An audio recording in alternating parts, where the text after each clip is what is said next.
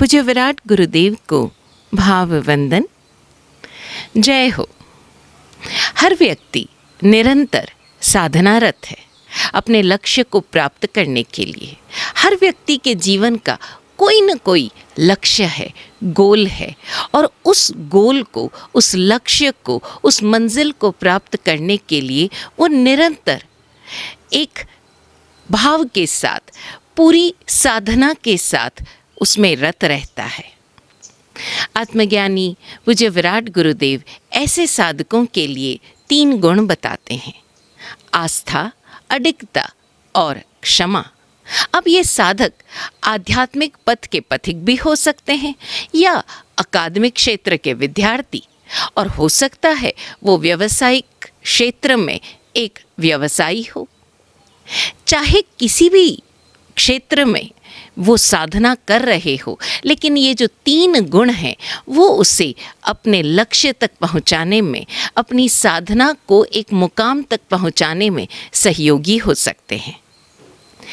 आस्था, अडिगता और क्षमा। आस्था यानी स्वयं में अवस्थिति, अपने आप में अवस्थिति, अपने आप में स्टेबिलिटी।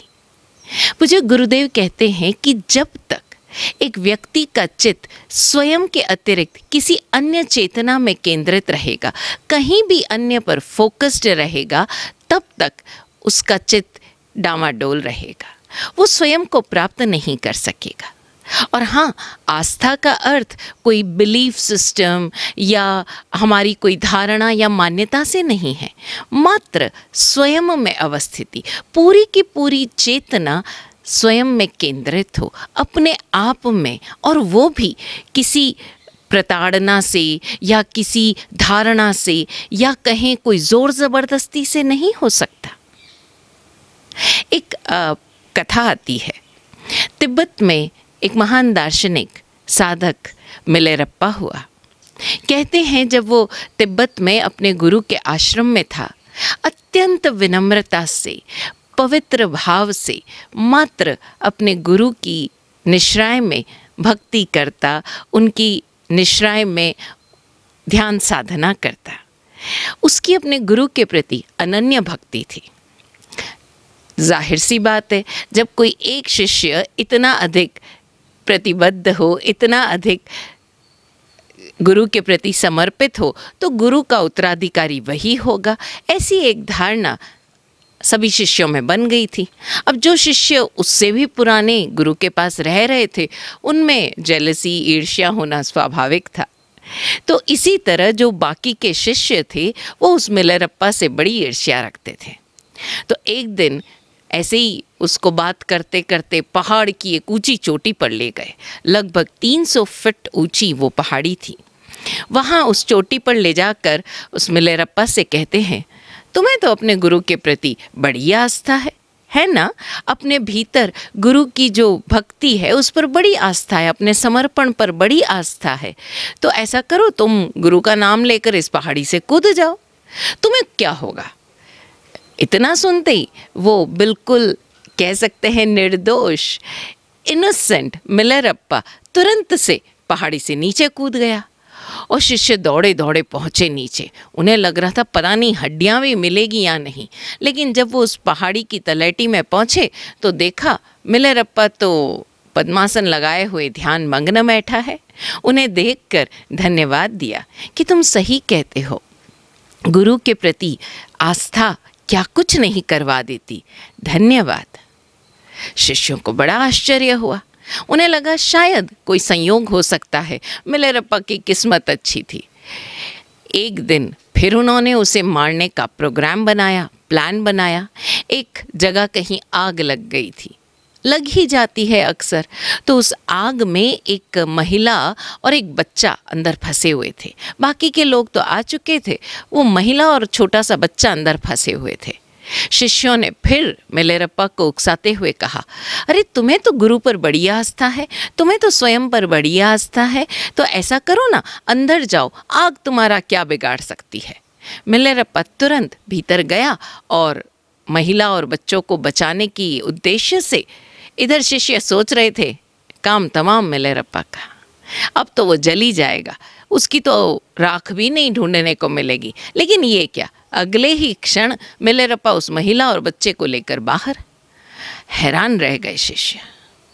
अब ये बातें उसके गुरु तक भी पहुँची थी तो एक दिन इसी तरह से फिर वो नदी के किनारे बैठे थे और उन्हें नदी के किनारे पहुँचने के लिए नाव का इंतज़ार था। उनके गुरु स्वयं नाव का इंतज़ार कर रहे थे। शिष्यों ने फिर उकसाते हुए मिलेरप्पा को कहा, तुम्हें नाव की क्या ज़रूरत है? नदी पार जाने के लिए। तुम तो नदी पर चलकर भी जा सकते हो। इतना सुनते ही मिलेरप्पा तुरंत नदी पर पहुँचा और पाँव, नदी पर चलते हुए उस पार पहुँच गया। सतगुरु तो ये देखकर हैरान रह गया। ऐसा कैसे संभव हुआ? खैर, वो गुरु भी नाव आने पर उस पार पहुँचे और मिलेरप्पा से कहा, ये क्या किया? तो मिलेरप्पा ने कहा, गुरुदेव, मैं तो बस आपका नाम लेकर और चल पड़ा। गुरु को लगा, ये बेवकूफ़, ये भोला भाला मिलरप्पा, जिसे कुछ भी नहीं आता, जब ये नदी पर चल कर पहुँच सकता है और कहता है, मैं आपका नाम लेकर पहुँचा हूँ तो फिर मैं भी चल सकता हूँ। इससे पहले गुरु ने ऐसा कोई प्रयोग नहीं किया था। खैर, गुरु जैसे ही नदी पर चलने को आतुर हुआ, नदी में डूब गया। लोग कहते हैं, इसके बाद उस गुरु को कहीं नहीं देखा गया। ज़रा हम देखें, वो गुरु तत्व बाहर किसी व्यक्ति के रूप में नहीं मिलरप्पा के भीतर विद्यमान था। उस गुरु में वो क्षमता थी या नहीं, ये मिलरप्पा ने कभी भी, उस साधक ने कभी भी चेक करने की या परीक्षा करने की, टेस्ट करने की कोशिश नहीं की थी। वो आस्था उसके भीतर विद्यमान थी। उसकी चेतना स्वयं में केंद्रित थी और यही आस्था इन सारे कार्यों में उसे सफल करती चली गई। वहीं उसके गुरु को स्वयं मिलेरप्पा पर भी डाउट था। और मिलेरप्पा पर ही क्यों? स्वयं खुद पर डाउट था। और स्वयं को टेस्ट करने के उद्देश्य से वो उस नदी पर चलना शुरू हुआ और फेल हो गया। ऐसा हम भी अक्सर करते हैं। हमें कई बार अपने लक्ष्य के प्रति आस्था नहीं रहती। हम अपने लक्ष्य से चूक जाते हैं। हम किसी और के भरोसे पर भरोसा करते हैं। वो लक्ष्य हम क्यों निर्धारित कर रहे हैं? उस लक्ष्य पर हमें आस्था नहीं है। हमारी अवस्थिति होती है आसपास चलते हुए ट्रेंड पर, लोगों के कहने पर, लोगों के बिलीफ सिस्टम पर, और हमें लगता है इस तरह से हम अपने गोल को पा लेंगे। जब लक्ष्य स्वयं हमारी दृष्टि में नहीं तो हमारी अवस्थिति उस लक्ष्य पर कैसे हो सकती है? इसलिए ध्यान रहे, अगली बार आप कुछ भी करें, किसी भी लक्ष्य की ओर चल पड़ें, उससे पहले स्वयं को चेक कीजिए, क्या जिस लक्ष्य को आप प्राप्त करना चाह रहे हैं, उस लक्ष्य पर स्वयं हमारी आस्था है? प्रश्न ज़रूर पूछे खुद से। और अगर हमारी अपनी आस्था है तो निमित्त आपको मिलते चले जाएँगे। राहें अपने आप खुलती चली जाएगी, सहयोगी स्वयमेव मिलते चले जाएँगे। बस एक ही चीज़ ध्यान में रहे, स्वयं में अवस्थिति रहे, अपने लक्ष्य पर अवस्थिति रहे। हमारी चेतना कहीं किसी और पर केंद्रित ना हो, मात्र स्वयं पर केंद्रित रहे। दूसरा गुण, अडिगता। अक्सर हम डगमगा जाते हैं। राह चलते हुए कभी किसी ने कुछ कह दिया, कभी हमें, हमारे अनुकूल परिणाम नहीं मिले तो हम डगमगा जाते हैं। और ये डगमगाना ही कई बार हमारे साधना का सबसे बड़ा हर्डल बन जाता है, सबसे बड़ा ऑब्स्टेकल बन जाता है। हम धीरज खो देते हैं। कई बार एक राह चलते चलते हमारे भीतर एक बेचैनी, एक व्याकुलता उठती है। अरे, इतने साल हो गए इस राह पर चलते हुए, अभी तक मुझे अपनी मंजिल नहीं मिली और हम तुरंत से अपना ट्रैक चेंज कर लेते हैं। जहाँ मंजिल शायद कुछ ही कदम दूर थी, लेकिन हमारी ये डगमगाहट हमें अपने भीतर से चित कर देती है। हमें अपने आप से दूर कर देती है। अक्सर हम दूसरों को देखकर डगमगा जाते हैं। हमें लगता है, वो सामने, वो व्यक्ति तो मात्र पाँच साल में ही अपने लक्ष्य को प्राप्त कर गया। मुझे बीस साल हो गए, अभी तक मुझे मिला नहीं। बात समय की नहीं है। बात है हमारे भीतर उस दृढ़ आस्था की, और हम अपनी मंजिल तक पहुँचने के लिए कितने प्रतिबद्ध हैं? हम कितने दृढ़ हैं? जैसे ही हम अपनी उस आस्था से डिगे, हम मंजिल से चूक गए। एक छोटा सा प्रसंग है। आप घटना समझ लें, प्रसंग समझ लें, या कहने के लिए कहा गया एक प्रतीक चिन्ह समझ लें। एक मकड़ी अपना जाला बना रही थी। अब मकड़ी है तो जाला तो बनाएगी, क्योंकि जाला बनाएगी तभी तो उसका भोजन उस जाले में आकर फंसेगा और उसका पेट भर पाएगा। पेट भरेगा तभी तो वो जीवित रह पाएगी। तो वो मकड़ी एक जाला बुन रही थी। जाला बुन रही थी एक दरवाजे के आसपास। ऐसे ही किसी जगह पर, बिल्कुल कोने में एक बिल्ली वहाँ से गुजरी। उस मकड़ी को देखकर हंसने लगी। मकड़ी का ध्यान भटका। अरे, तुम क्यों हंस रही हो? बिल्ली बोली, रहने दो। बोले, नहीं नहीं, बताओ बताओ, तुम क्यों हंस रही हो? बोले, तुम इतने कोने में जाकर ये जाला बुन रही हो।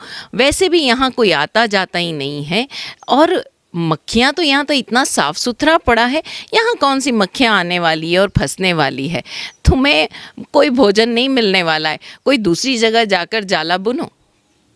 मकड़ी ने तुरंत बिल्ली की बात पर रिएक्ट किया, उस अधबुने जाले को छोड़ा और एक खिड़की की तरफ़ चली गई और खिड़की में जाकर जाला बुनने लगी। जैसे ही वो वहाँ जाला बुन रही थी, एक चिड़िया वहाँ पर आई। और वो बोली, कितनी पागल हो तुम।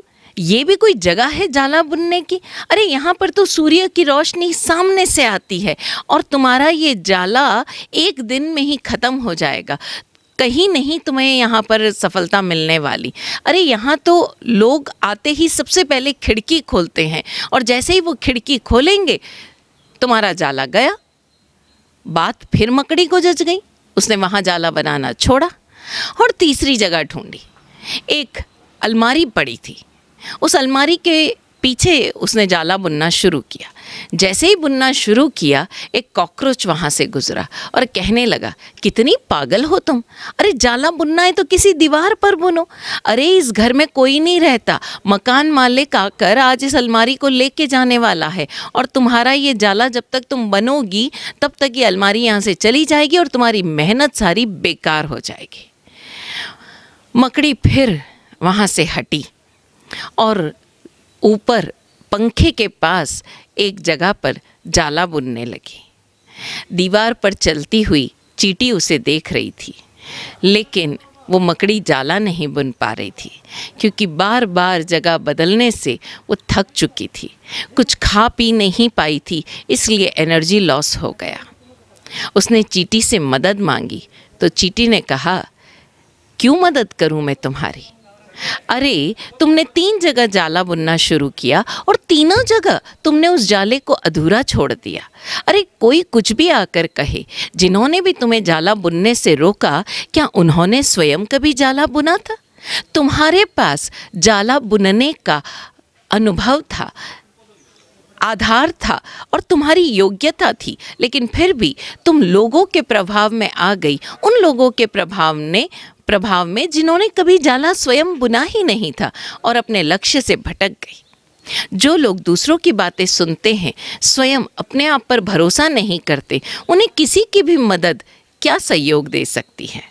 ये कहकर चीटी अपने रास्ते पर चल पड़ी और वो मकड़ी, उदास सी बेमन सी कमज़ोर सी एक कोने में पड़ी, खुद को खुद के पूरे दिन भर के क्रियाकलाप को देख रही थी कि बार बार वो लोगों के प्रभाव में आकर अपने लक्ष्य से भटक रही थी, जबकि अनुभव, योग्यता दोनों उसके पास थी।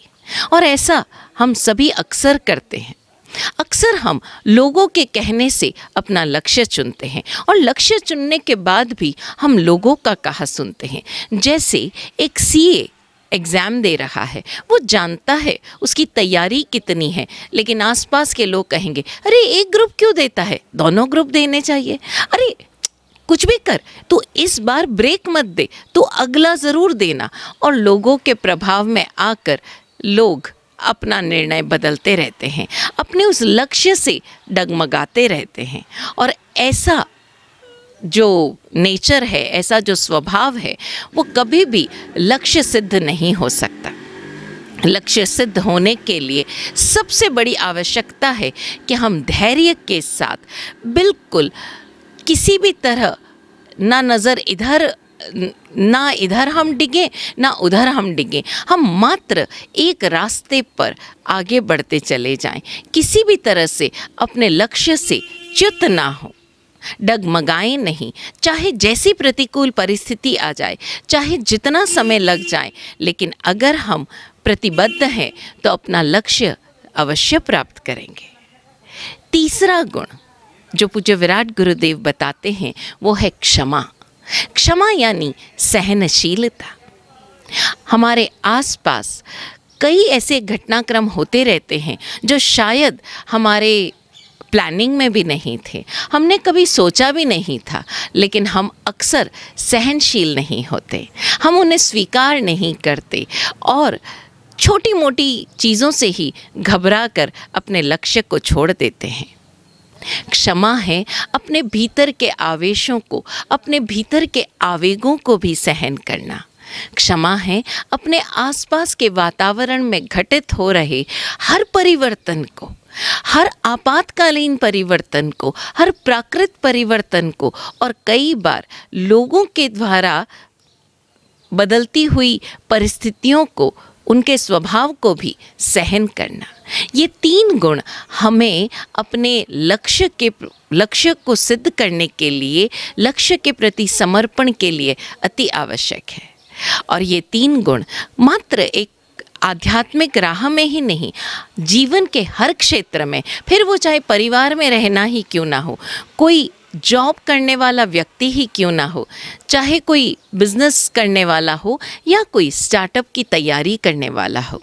अगर उसके उसके पास आस्था, अडिगता और क्षमा है तो निश्चित रूप से वो साधक अपनी लक्ष्य सिद्धि में सफल होगा ही। आप स्वयं अनुभव करें और अपने लक्ष्य को सिद्ध हों। यही सद्भावना। ओम शांति।